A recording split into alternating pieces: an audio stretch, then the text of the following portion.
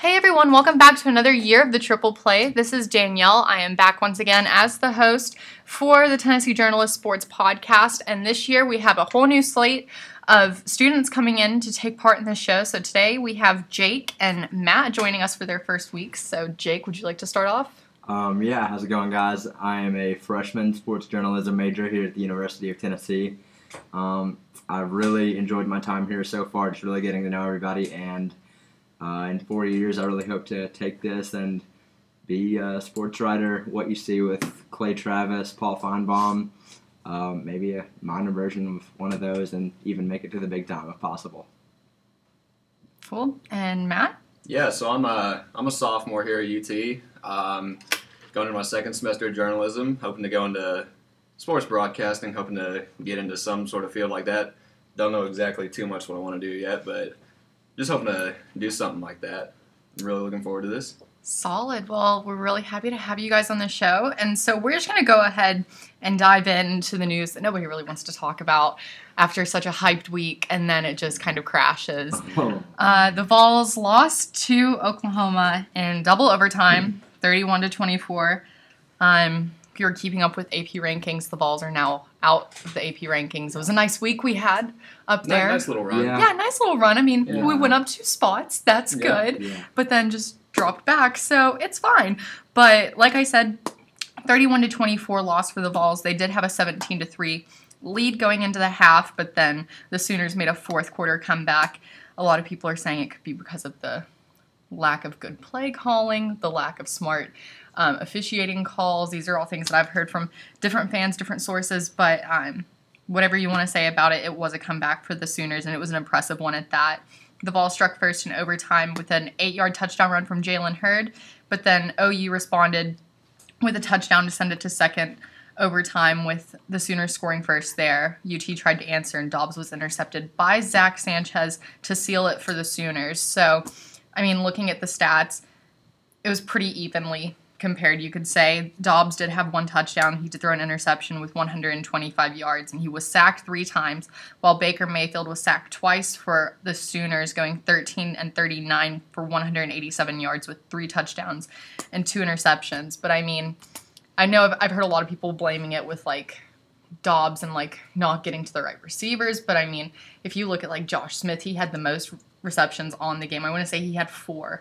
Um, and it's good to see him coming back up to get those numbers. But what's your guys' take on the the unfortunate loss? I mean, Um, I, I think we looked really good for the first three quarters. Oh yeah, It's just absolutely. our defense there in the last quarter just Mhm. got winded, and they started taking advantage of that. Yeah. Um, Jalen Reeves Maybin, he looked really good. He had 21 tackles, Mm-hmm. uh, one sack.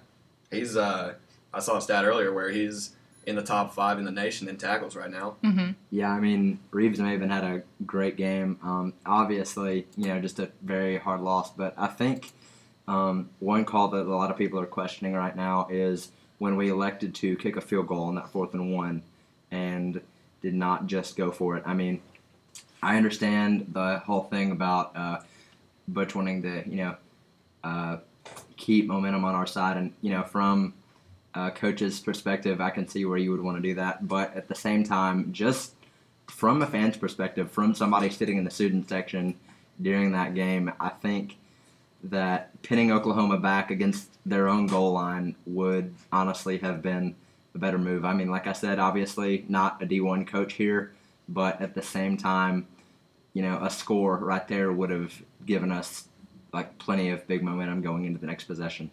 So. I definitely agree with that. And going to other plays that are kind of being questioned, whenever you get down to the end of the game and you have around 30 seconds left and two timeouts, and then you just decide to just take a knee and let Yeah, the I- clock run yeah, out. that was oh Did not man. agree with that. no. I- no, I mean you could hear the booing everywhere in the Mhm. stadium for that one. I mean, like, just I mean, took what two knees? Mhm. You know, I mean, that's two shots at the end zone, if not a field goal. I mean, exactly. come on. Definitely. I mean that that was just really tough to um, think about. I mean, things are going so smoothly, and then you have like that little bit of momentum, and you could Yeah. really capitalize on it and just take a knee. It's just like why? Yeah. It's just Mhm. a big question of why. But one thing that was really exciting to look at, especially in the first half, the O line Like Yeah, Yeah, we actually had an. O line. We haven't had that in a while. I mean, last year we'd see bits of um like they, excitement they and their momentum, but at the end of the season. exactly. Yeah, you can see you know sparks of hope going into the season. I Right. think for sure. But- Definitely. They definitely looked strong. They were making um, any stops they needed to, any tackles they needed with some big blocks. Um, I remember looking over at my friend at one point and I was like, wow, is this what it's like to have an O line again? I've missed this. This is nice. But um, that was uh, one really strong high point for the Vols. But this loss did snap the Vols' 20 game win streak in home openers at Neyland. And like I said, it did uh, make them drop from uh, number 23 in the rankings out of the rankings. But looking over at the Sooners, they moved up three spots from 19 to 16. And so next week, um, the Vols will be taking on Western Carolina Catamounts, Catamounts, excuse me, um, here at Neyland. Um, Western Carolina beat Mars Hill to open the season last week with a score of 42 to 14, but they lost to the Citadel, to the Citadel Saturday, excuse me, um, 28 to 10. So right now they're currently fourth in the Southern League Conference. And looking over at the Vols, I want to say they're towards the bottom of the uh, SEC East. Um, we'll get more into the standings later with the SEC because it's a little it's a little weird shaky right now. right I mean, it is the Yeah, second it's the second week. We'll give them that, but It it's just Yeah. yeah, there's some Yeah. weird teams up there, like teams that are making me shake my head a little bit. But Western Carolina and UT will play Saturday at seven o'clock, and that game is scheduled to be on ESPNU. So looking over at the SEC, like I said, the rankings are quite interesting right now. But looking at the AP AP rankings, because we've been talking about that, the SEC now has seven teams in the AP. Alabama's at number two, Georgia seven, LSU is at 13, Ole Miss 15, Texas A&M 17, Auburn 18, and Missouri rounding it out at 22. Arkansas, Tennessee, and Mississippi State all dropped out of the rankings this week. But right now in the SEC, um, the SEC East, I'm just going to go ahead and throw this out there. Kentucky is tied for first in the SEC East. Who would have thunk it? Yeah, definitely not Def- something yeah. to be expected. No. I remember during uh, the game, a guy that was sitting behind me, he kind of laughed and said, Why in the world is Kentucky beating South Carolina right now? I mean, nobody really thought that they were going to have the rushing potential that they have this year. I mean, there have been like talks about it in the offseason, but Stoops could be up to something with this team. Yeah, I mean, it's not the most popular viewpoint, especially here in Tennessee, but Kentucky is a really good team. Absolutely. I mean, last year they started out five and one Mhm. before losing six straight to not make a bowl, but they uh, they had some really good games last year. They beat South Carolina last year. Uh, Mhm. Took Florida to three overtimes. Uh, ended up losing that game, but Right. yeah, they're they're a really solid team. They could, are. They could make a little bit of noise in the East. Maybe They not this year, but Mhm. definitely here in a couple years. Yeah, but I mean, Yeah. with a coach like Stoops, I mean, like you said, strong start last year before dropping the last six. But I mean, if they can keep up that momentum this season after beating, you know, a team coached by Steve Spurrier, I would say that Mm-hmm. late this season that the Vols need to maybe watch their backs as we, you know, Mhm. I mean, play Kentucky at the end of every season. I mean, obviously, recently, uh, when Dooley was uh, here, you know, we dropped that one to Kentucky after what was it, twenty four straight. 20 something. I know it was, It was a lot. 2011. It was a lot. It was. It was several, 20 too many. But, Yeah. yeah, but um, but I mean, obviously, regaining that uh, win streak with Butch, but still needing to watch out at the end of this year. Definitely, and like you already said, um, Kentucky and South, like we've already mentioned, Kentucky and South Carolina. Uh, Kentucky to get the win, twenty six to twenty two, and South Carolina, you have to give them credit. They put up incredible stats, four hundred and seventeen total um, offensive yards. But I mean, looking over at Kentucky's numbers too, they were just as impressive. Patrick Towles, I really want to commend him for this game. Yes, he threw an interception, but he was 21 for 29 with 192 yards. I never thought that stat line would be possible for Towles ever. I mean, he's a good quarterback, but 192 yards for him, that's very impressive. And looking over at rushing, like we've already mentioned, 38 carries for Kentucky, with five indi- individuals getting touches during the game, running for 207 yards and three touchdowns. Stanley Williams was one of them with 14 carries, rushing for 107 yards. And I'm going to go ahead and throw out that he's a name to watch out for this season. I mean, I kept up with some of their um, practices going into like summer and then um, early fall training and whatnot. But Williams has definitely been one that I've been impressed with. So I think he's definitely one to um, watch out for for Kentucky. Looking over at other interleague matchups that happened yesterday in the SEC, Georgia and Vandy, or I'm sorry, on uh, Saturday, Georgia and Vandy Uh, Georgia Mm. won 31 to 14. Nick Chubb had one er, had 189 yards with 19 carries, but I don't think anybody's really surprised by that stat line. You're used to seeing that from him. Yeah, Mhm. Chubb. I mean, obviously a great running back. We saw that last year. I'm going to see that again this year, I'm sure. Um, but one thing I thought that was really interesting that I read earlier today was the comment that without Chubb, Georgia's offense would have been just a anemic on Saturday against Vanderbilt. Uh, Grayson Lambert, the starter for them, had what was it? Went 11 for 21.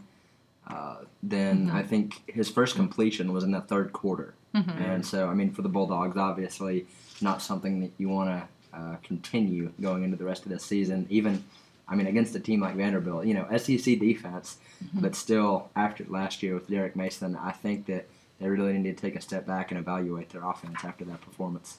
Yeah, going off that, like if they didn't have uh, Nick Chubb in there, Johnny McCrary for uh, Vanderbilt threw for 295 yards, Mhm. completed 24 of 50. Not not the greatest completion stats, but still almost 300 yards. That's That's, that's, really impressive. Yeah, I mean, uh, just, I mean, man, wow. Uh, I mean, whenever I was looking at that stat line too, and I saw 295, I like I had to refresh the page. I'm like, this is wrong. I, no. I thought Georgia was Yeah. going to go up there and Oh, blow them out of the water. Absolutely. yeah, I think that's what everyone thought. I mean, Mhm. the spread was like, what, 20 something. 29. Yeah, I mean, mhm. yeah. yeah, I mean that was a definitely a close game there, closer than most people were expecting. Closer than it should have been. Yeah. I mean, Absolutely. they really uh, capitalized on the second half too because I mean they got off to a slow Mhm. start and I mean after the first half when I heard about the scores before the UT game just waiting around I mean uh, I was really surprised that it was that close they really must have done some work there in the second half Definitely. Mhm. And looking over at the other interleague game that ha- or interleague uh, game that happened on Saturday, LSU beat Mississippi State 21 to 19. Another Oh, close game I was not really expecting to see there. But Dak Prescott threw for 335 yards and a touchdown for the Bulldogs, and then Leonard Fournette uh, for LSU, 28 carries with 159 yards and three touchdowns. 335 yards for Prescott is really impressive, but I can't really tell if I was expecting more out of him or less. I mean, he had a touchdown. Maybe a few more could have been predicted for him, but I mean, 335 yards is still really impressive. Being Yeah. Dak Prescott and the dual threat quarterback he is, I think I kind of expected a little less. Mhm. So the 335 is that's really impressive from him. Right. yeah I would say um, overall just like a recap from the SEC on Saturday obviously we're looking in depth at State and LSU right now but don't ever under- underestimate excuse me the power of a home advantage I mean hmm obviously uh, UT Oklahoma break the decibel record at Neyland Stadium, and then with the cowbell at Mississippi State, just the absolute effect that that had on Mhm. LSU. You know, close game, end of regulation, Mississippi State, 52 yard field goal with three Mhm. seconds left. That's And- right. And, I mean, he missed it. Les called a timeout right before the field goal, which bad mistake there, and then missed it again. LSU got lucky. hmm They escaped a good one there. Definitely. And, es- and speaking of escaping a good one, Auburn and Jacksonville State. Oh man. man! Wow. Wow! Um, first of all, great game for the Gamecocks. I mean, I was not expecting this much from Jacksonville State. That No, was at all. incredible. Uh, no. I don't think anybody was. They No. beat, they beat Ole Miss a few years ago. Didn't That they? is true. Mhm. Yes, I do remember that much. But I mean, for Auburn to only win by a touchdown in In overtime, overtime. Yeah. to Jacksonville State. Ugh. Just to reiterate that Jacksonville State. That's incredible. And Auburn's number six right now. Um, I want to say they're still at number six. No, Uh, they, they dropped. They dropped. That's right. Yeah. Oh yeah, they went down to 18. They dropped Yeah. 12 spots. That's right. Mhm. So yeah, I mean that's insane. They were number six during that game. That's what I was uh, going at. But I mean, seven points there. That's ridiculous. Uh, Ole Miss and Fresno State. Ole Miss just blew them out of the water, 73 to Oh. 21. Uh, Middle Tennessee lost to Alabama, 37 to 10. Arkansas Yeah, that's one I lost wanted to Toledo, 16 to 12. Yeah, that was in Little Rock. I mean, Mhm. uh, you know, playing in Little Rock for them, I've heard is kind of like what playing at Nissan Stadium was for Tennessee. Mhm. But at the same time, they do that every season. You know, playing Right. at Nissan was new for the Vols, but I mean, for Arkansas, to, oh man, to lose to Toledo. I mean, you know, so much hype in the preseason. You know, UT Oklahoma, we played them well, Mhm. but then lost last minute. Right. Arkansas, after you know, I mean, who's their quarterback? Brandon Allen getting Mhm. a lot of hype in the preseason, especially from Arkansas fans. To lose like that, just big time loss for Bret Bielema. Definitely. And looking at other games in the SEC just to round out um, league play, uh, Texas A&M beat Ball State 56 to 23. Missouri beat Arkansas State 27 to 20. Another close one there, but I mean Missouri was 21 uh, in the nation at that point. Uh, Florida beat East Carolina 31 to 24. I thought that would not Oh, be that man. close for uh, the Gators, but um, that's the rest of the scores for the SEC. So looking over at just college football in general, some crazy endings uh, and just scores in general. Uh, BYU, BYU. Um, who thought The they Hail could be a miracle and team? then I mean, come is- on. That is just insane. Yeah. To have It is. two two hail marys back to back Yeah. weeks from your backup quarterback. Mhm. Like nobody could have even thunk that up.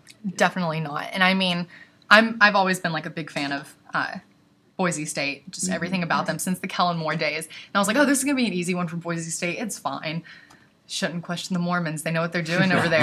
I've That's heard that from so many people. They're That's like, well, now we uh, maybe there is like a Book of Mormon. Maybe it's a playbook and not just like a stage show. There And I'm you like, go. okay, yeah, Mormon sure. Miracle. We'll go with that. Yeah, Mormon Miracle. There's so many things right now um, to be calling them, but I mean, that's I just I don't really think anybody expected BYU to play like they have been. Uh, looking over at some other games, Utah and Utah State had a pretty close one, 24 to 14 there with Utah getting the win. Florida State beat South Florida 34 to 14. Uh, Clemson and Appalachian State 41 to 10 there. I thought Appy State would um, put up a few more points on the board. I was kind of looking for them to have about 18 or so, but um, I mean for them to lose by 31 to Clemson, that's uh, pretty impressive for Clemson. Georgia Tech beat Tulane 65 to 10. Notre Dame and Virginia, that was a close one there. Uh, Notre Dame getting out with the win 34 to 27. TCU beat Stephen F. Austin 70 to 7. That's an incredible uh, differential there. Uh, Hawaii and Ohio State. Ohio State won 38 to nothing there, but Ohio State is no longer the unanimous number one in the AP polls because I believe um, Michigan State got two votes. Wow. Michigan State did get two. So that's Yeah, That's exciting. Home. Right, 31 to 28 there um, for Michigan State. That's absolutely incredible. I know I had a lot of friends uh, texting me saying, oh, Oregon's got this one in the bag. This is going to be good for them. But I mean, Oregon's just been so up and down lately. You don't really know what to expect. Mm-hmm. Uh, just another score to look at. Um, Baylor beat Lamar 66 to 31. That's pretty much the kind of score you'd expect from Baylor. A very strong team there. But still, Boise State and BYU, that's the highlight score that's been jumping out at me all weekend. I think that was 35 the, to mo- the 24. most surprising Yeah. Absolutely. game of this week. Oh, it definitely is. And I'm pretty sure Boise State got knocked out um, Mhm. of the rankings too, which is unfortunate. It's always good to see Boise State up there, but I mean, give credit to BYU. They're now 2 0 on the season. And they're And- also Yeah. ranked number 19 in the poll. Exactly. Which good is them. Took over. Insane. What was it? Uh, I think it was like Oklahoma's spot when Mhm. they played. Yeah. exactly. Yeah, 19. Definitely. So, I mean, a lot of crazy things going on in college football, but I mean, it's only the second week and it's already lot to look happening like this. There's a Mhm. lot to look forward to, especially in SEC play, which will be coming up very soon. But now we're going to go ahead and take a look over at the NFL. The regular season has kicked off, kicked off Thursday with the Steelers taking on the Patriots Mm. out of Deflategate and everything else that was going on, and now there's Headset Gate, as if we need Uh-huh. more gates in the NFL right now. Um, but the Patriots got the win over the Steelers, 28 to 21, and like I said, uh, Headset Gate, the newest gate brought to you by NFL Films. We can make a documentary about all of these gates, but um, so the Steelers were saying that in the first half, their um, headsets had the the Patriots radio broadcast. Exactly. Yeah.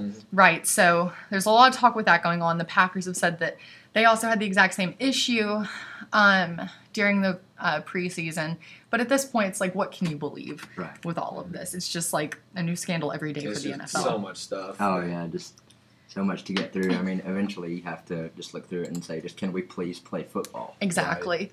Um, I know going into the game, I, I, I'm of course a Steelers fan, and uh, I was talking to my mom during the pregame and my cousin who's in Pittsburgh, and she said, "Can we just like not have Brady on the TV for two minutes and actually like look at like what the Steelers are going to bring, like what's going to happen for this whole season for other teams?" But it was just Patriots, Patriots, Patriots the whole day. But I mean, whenever you have a scandal that lasts literally like six and a half months, I guess that's kind of expected. But looking at gameplay, uh, Tom Brady threw four touchdowns. Absolutely incredible. Three of those went to Rob Gronkowski, which I think pretty much everybody expected. Um, I know before the show we were talking about how Gronk should have had more touchdowns. Um, he had some extra looks that could have went his way, but um, Yeah, you said they had one to Chandler on that crossing route. Mhm. Right. So I mean that's still an impressive win for the Patriots. I did not think that the Steelers were gonna throw to Antonio Brown towards the uh, corner of the end zone at the end of the game like they did, but I guess that's kind of expected with last minute touchdowns for the Steelers. But looking at other games that have happened, yesterday the Titans defeated the Buccaneers 42 to 14. Marcus Mariota, welcome to the NFL. yeah, Um, I thought it was kind of funny. It was Marcus Mariota against Jameis Winston, and the last time um, we saw a football game between these two, Marcus Mariota came out with the win then Yeah. as well. But Looked Much better than Jameis too. yeah. Oh. Jameis, absolutely. first NFL pass, pick six right off the bat. I Mhm. mean, you know, two former Heisman winners facing off against each Yeah. other. Mariota obviously Mhm. just proclaimed himself Definitely. as a presence in the NFL right off the bat. Just Mhm. great performance. Definitely. I mean, he was 13 for 16 with 209 yards, four touchdowns, and no interceptions. And then Winston, kind of lackluster for the most part, 16 for 33, 210 yards, two touchdowns, but he did throw two interceptions. Mariota definitely looks like he could fit into an offensive, or an NFL offense, I should say. And I know a lot of people were saying that he wouldn't be able to. Um, going into the season, I was definitely one of them. I was kind of skeptical about what he could bring uh, to the Titans because I know this Titans team is one that has struggled for a while, um, trying to find a quarterback that can really lead them. Consistency. Absolutely. So I think it's good for the Titans that they have him. He could definitely be become a force to be reckoned with. Maybe. Um, it's tough to tell after the first game, but I mean, four touchdowns in your like opening game in the NFL. That's pretty exciting. That, that's Yeah. really impressive. I Definitely. think that, um, you know, obviously with Mariota as the new quarterback, but then with, uh, you know, Dorial Green Beckham on the outside, and Mhm. then obviously Justin Hunter being from UT, I think the Titans could really have an explosive offense this year, and that's something that people really need to look for. hmm It'll be interesting. I mean, the AFC always produces a lot of um, exciting games and some big stats. So, I mean, maybe they'll be able to contribute to that too. But looking over at another game in the AFC, the Broncos beat the Ravens 19 to 3. You want to say good things about Peyton, but this was not the best performance No. I've seen from him. Their their defense definitely won that game for them. Oh yeah. I mean, defenses were strong for both teams. Uh, I mean, that's where the scoring came in the game was from both defenses. They both scored touchdowns, but Peyton was 24 for 40 for 175 yards, no touchdowns with one interception. But Joe Flacco was just as lackluster as Peyton, um, 18 for 32 with 117 yards, no touchdowns and two interceptions there. And rushing was really slow too. Baltimore rushed for 73 yards on 23 carries, while Denver rushed for 69 yards on 25 carries. I mean, this isn't really the kind of stat lines you'd expect to see from a, like these two types of teams. I mean, you know they both have strong defenses. Baltimore having the stronger of the two just within past years, but I expected a lot more out of the offense for the Broncos. Mhm. It was definitely lackluster, but looking at some other games that happened, um, I mean, why not start off the uh, first game or the regular season, I should say, with a big rivalry between the Packers and Bears? That's just exciting, Yeah. and it was an exciting game at that, thirty-one to twenty-three, with the Packers getting the win. Uh, looking over at more games, the Chiefs beat the Texans twenty-seven to twenty, and it was Eric Berry's first game back um, for a regular season start, which was so exciting. Good to see him back out there. Jets beat the Browns 31 to 10. Johnny Bills Manziel's first NFL touchdown. Right, that's exciting. My phone was going ballistic whenever he scored, but he was 13 for 24 on the day with 182 yards and one touchdown, like we just mentioned. He had so a really really up and down game. Yeah. He, he had some really good moments, but he also had some not so good ones. I feel like that kind of sums up the Cleveland Browns, Yeah. though. Yeah, I mean, that's that's true. that's the perfect Yeah. summary. That was Mhm. nice. But uh, looking over at some other games, the Bills beat the Colts 27 to 14. Andrew Luck threw for two touchdowns in that game with 243 yards. So pretty impressive start there from him. Uh, the Dolphins beat the Redskins in a close one, 17 to 10. Ryan Tannehill only threw for one touchdown for the Dolphins. Kind of expected another one from him. I mean, there's been a lot of hype around him going into this season, but we'll see what can happen. It's still really early on. Panthers beat the Jaguars 20 to 9. Seahawks lost to the Rams 34 to 3 or 31, I'm sorry. 34 to 31. in overtime with the Rams getting a field goal to um, seal that win. Uh, the Cardinals beat the Saints 31 to 19. Chargers beat the Lions 33 to 28. Uh, Bengals and Raiders. This was a really interesting game. Uh, Bengals won 33 to 13. Like I said, Andy Dalton had two touchdowns. I was not expecting him to throw for double touchdowns. I mean, Andy Dalton's a good quarterback, but I wasn't really expecting that from him. But then again, he was playing the Raiders. Exactly. So you got to give him a, a little something. Exactly. Yeah, Absolutely. You gotta, take the opposing defense into account every time. Mm-hmm. I mean, Absolutely. you know, Dalton. I mean, coming from a team that you know put up what was it 70 this Mhm. weekend. I mean, Right. And then uh, the most exciting game of yesterday, I think we could go ahead and give it that uh, preface the Cowboys and Giants. oh yeah, Cowboys win it 27 to 26. Romo. Tony Romo can be clutch? yeah. Question mark. right? Like, yeah, I mean, Yeah. you know, like reading on, uh, like even like on Facebook and Twitter this weekend from friends. I've got one that's a really big uh, Cowboys fan. Early in the game, you know, just uh, dissing Romo, just going off. And then at the very end, about like you know, just scrolling through my news feed, I see something about Tony Romo being a rock star. Like, wait, what? hmm Like Tony, like Romo for president? What are you talking about? But I mean, he saved the game. It does He help did. when your running mate is Jason Witten. Exactly. Yeah, that's true. I was going to say, I think that's why it's so exciting for all of us. The fact that Jason Witten got the winning catch. I mean, Yeah. that's so exciting for him. Really Um, good. Coming up on a thousand catches. Yeah, he's coming. Yeah, he's coming up really close on that. I don't know what how close he is, but he's fairly close to it. I want to say he's got around 940. Wow. Something like that. Yeah, Somewhere yeah, he's there. really close. He could break the thousand probably like halfway through the season. I'd say Oh yeah. if things go his way. But Monday night football tonight, we're gonna have a double header going on. The Eagles and Falcons will kick it off um, on ESPN at 6:55, and then the Vikings and 49ers will play at 10:15 also on ESPN. Those should definitely be really exciting games, especially that Eagles Falcons game. I've been eyeing that all weekend, so that could be really exciting. And then looking over at baseball super quick, we're not going to go too in depth with it. There's only 20 days left in the season, so if you're as big of a baseball fan as I am, you're really sad about it. October 4th will be the last day of the regular season before we start to get into playoffs. Um, playoff talk is already starting, though. Cardinals are still on top with a record of 89 and 54, but the Pirates, and yes, I'm saying the Pirates, are two and a half games back in second place. I was not expecting to say that by the beginning of this season, so this is great. Um, but they are two and a half games back right now, and if they somehow beat the Cardinals in the NL Central, it'll be the first time that they've won the division since 1992. they've made it into the playoffs the past two years and have turned out to be a really surprising team um, so far, so that's really exciting. But speaking of surprises, if we look in the top five um, teams right now overall for the MLB, you'll find the Cardinals, the Pirates, the Royals, the Dodgers, and the Cubs. Chicago Cubs are fifth right now in the MLB, which is so exciting. Mhm. But I mean, whenever you look at players that they've had come up, like Kris Bryant, who I know I talked in depth about um, last year during the show, uh, Kris Bryant, Kyle Schwarber moved up from the Tennessee Smokies. That's the Double A affiliate here in East Tennessee. Uh, he moved up. I want to say June seventeenth. He went up to um, the Cubs, and he's been very impressive for them.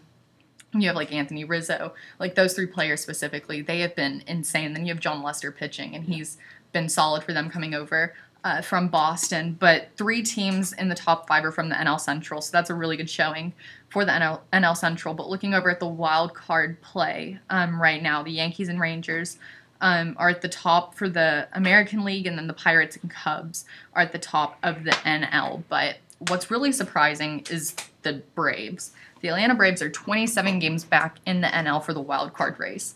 And right now they're tied for last in the NL East with the Phillies. I don't really think, I mean, I know there's been a lot of things going on with the Braves this year. Um, hasn't been the year that fans have been wanting. Uh, trades were happening at the beginning of the season that kind of just rattled everybody's brains. But I mean, for them to be 56 and 88 right now, going into 20 games left, that's That's not very good. No, it's not good. No. Especially from a Braves team who, I mean, their fans will they'll tell you what you think. Oh yeah. They will Oh, speak yeah. their mind no matter what. I mean, even getting what was it beat by the Mets by three the other night. Yeah. Yeah, it's uh yeah. Wait, that was Tuesday. What fourteenth? That was mm-hmm. yeah, that was last night. Yeah, just last night. hmm Right. But I mean, it's it's been crazy. I know last night uh to put the Pirates at two and a half games back. They had a walk off win in the eleventh inning. Um, Josh Harrison hit that walk off there. I want to say it was a walk off. Uh, might have been a walk off home run. I don't remember. I didn't get to look at it, but I know it was a walk off. Um, but I mean, the Pirates are surprising. If they could somehow take over for the top of the MLB right now, I mean, that would be insane. I'm not just saying that because I'm a Pirates fan. I'm saying that because, I mean, as a baseball fan in general, to see teams like that who have struggled for 20 years to like come up and like be like this strong, that's mm. impressive. Mm. but like I said, there's only 20 games left in the MLB season, so there's still a lot. I want to say a lot to look forward to, but with 20 games, you don't really know what to expect. Mm. We'll just see if there's a new top uh, top dog in the MLB, if but the Cubs can hold it down, and really the Pirates too. that's true. The NL Central right now is definitely, as always, the division to beat in the MLB. But that'll stay exciting for the next 20 days. We'll see what happens. But once we get down to um, closer to October, we'll talk more about um, playoff strategies and everything for teams. But that's all we have for today. A pretty big show with uh, football and baseball talk. But join us next week as we really start to get in depth with Tennessee football, and we will be one week closer to SEC play starting up for the Vols, and that'll be really exciting. But thank you for joining us this week, and we will see you next week.